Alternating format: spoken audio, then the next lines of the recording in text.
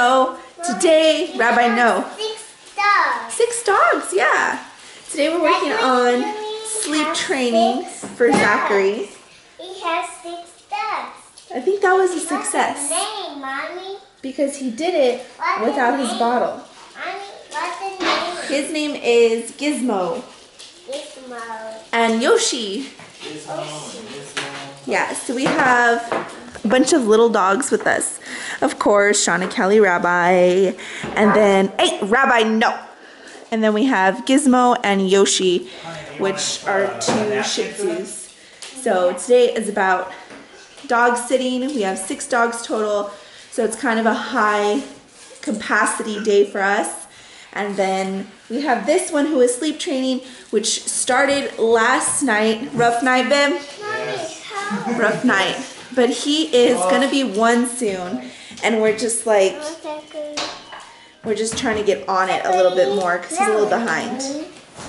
Connor was sleeping through the night by the time he was like six or seven months, and he was definitely off the bottle when he was one, off the pacifier by 13 months maybe. So you go get it, baby. You go get it right there. Now we're gonna have some lunch and pretty much probably just chill today. We don't really have anywhere to go unless we decide to go grocery shopping. Um, but yeah, high capacity day with the dogs. And then this guy, yeah. We're not completely going cold turkey. He's allowed to have one bottle to help him go to bed. But if he doesn't go to bed, then he has to cry it out, which is what happened this time. He drank all his bottle. He didn't go to bed, so he had to cry it out. He's allowed pacifiers for now, and then we'll take those away later. But you did it! You did it! And he, they always wake up more well rested, huh, Viv? Like when they cry it out. Huh. Where are you going? Say hours of crying. It was not, babe. It was like literally five minutes. I was. It gives me anxiety when the kids cry, so I have to tell Michael like set a timer for five minutes, and then I just went to go use the restroom and play on my phone for five minutes, and then when I came out of the restroom, he was done. He was already good to go. So if you just tell yourself, give it five minutes, and then usually, usually everything's okay. Yeah, yeah, yeah. So, well, that was rude. I'll get it. Say we're hangry. We're hungry. It's like it's 6:20 and you still haven't eaten. He normally eats at 5 5:30 and if he hasn't eaten by then, he is hungry. And I totally messed up. I know, it's mommy's fault. I didn't take a or I, I took something out for dinner, but I took a nap for about an hour, which was heavenly after last night.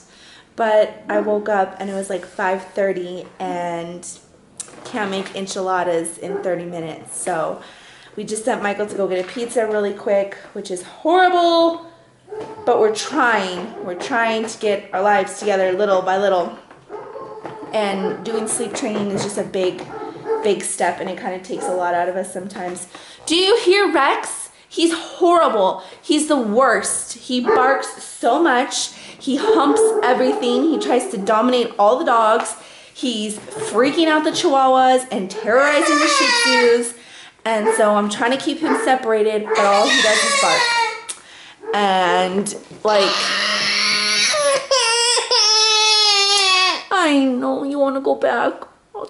Okay, okay, I'll put you back. And so, like, pretty soon here, I'm gonna have to bring him in because the neighbors are gonna be like, "The heck, man, what's going on?" I used to like kind of low key be against like neutering and fixing and stuff. I didn't see like why you had to do that because I never wanted to neuter my dogs and I always felt super forced. But this dog, this dog needs to be neutered. Maybe not all dogs, this freaking dog needs to be neutered. And that Shih Tzu over there isn't neutered either, and he's kind of being like not a, as not a complete terror, but he's got his issues. I'm trying to give Rex some time outside of the kennel because I keep having to put him in the kennel because I can't leave him out in the open with the other dogs. So he's out there howling. I'm gonna have to go put him in the kennel.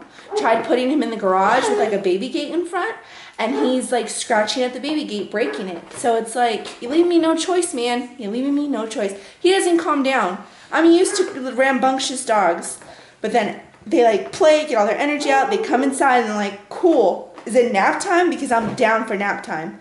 This one, hours. And we tested it. We tested it. He doesn't stop. He doesn't stop. And like when Daisy was here, he would at least burn out his energy. So when I put him in the crate, he'd be like, okay, now I guess I'll take a nap.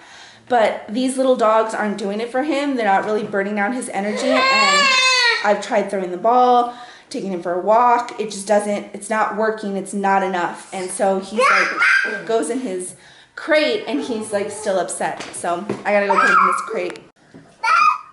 Taking the kiddos a bath. And Michael is outside trying to wear out Rex a little bit um, because we'll just kennel him for the rest of the night probably. It's already like nine-ish or something like that. But anywho, um, I've been watching Christina's vlogs. If you don't know who Christina is, she's my best friend. We started YouTube together. Oh my gosh, like two, three years ago? Three years ago, I'd say.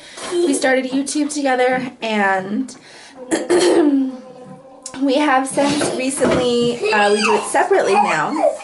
And so she has her own vlog channel and her own channel, link them down below. But I've been watching her vlog channel that she just made and she started off saying she's going to do daily-ish vlogs, but so far it's been daily. And I was asking her when she came over to do the pumpkin patch with the boys, I was like, hey, so like how do you like it? And she's like, dude, it's actually kind of almost easy because you're not, you don't have like all these cuts and stuff like that. And she just kind of explained it in a way where I was like, oh my gosh, it makes sense. So I know I said that I've tried to do this more often in the past, um, but I feel really encouraged, like getting some advice from her. So hopefully I can successfully start putting this out more often. And um, Michael actually wants to help out and do some editing. So I think that would be a good way for him to be introduced into editing because that's pretty easy, like to edit vlogs. And so I think that's a good little introduction for him. And then as he gets more skill, he can move on to editing other things, which would be great.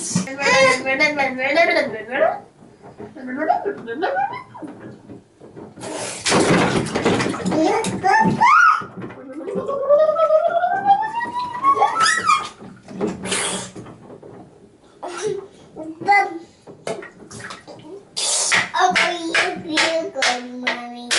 I really feel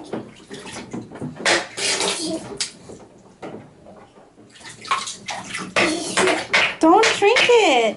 I see me take that rock on my coke.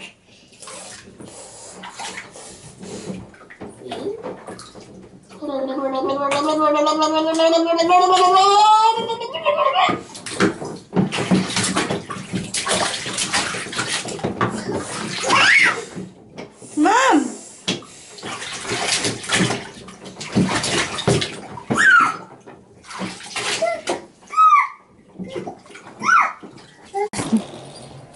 I told him you're gonna start editing the vlogs. So if it comes out bad, you know who to blame. I'm just kidding.